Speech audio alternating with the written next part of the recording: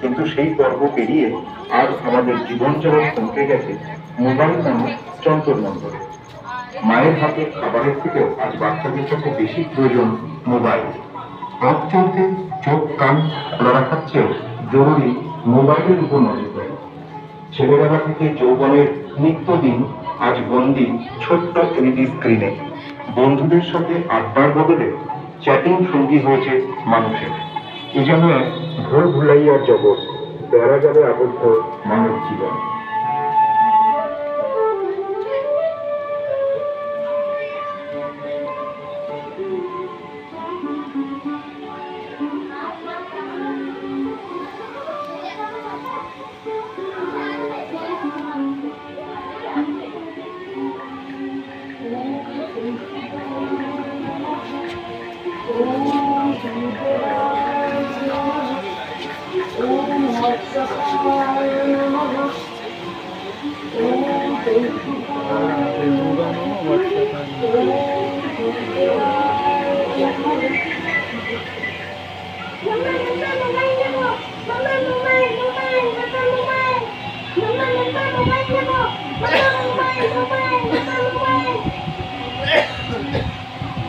চল খাওয়াটা শুরু করি। আরে দাঁড়া সেলফিটা তুলি।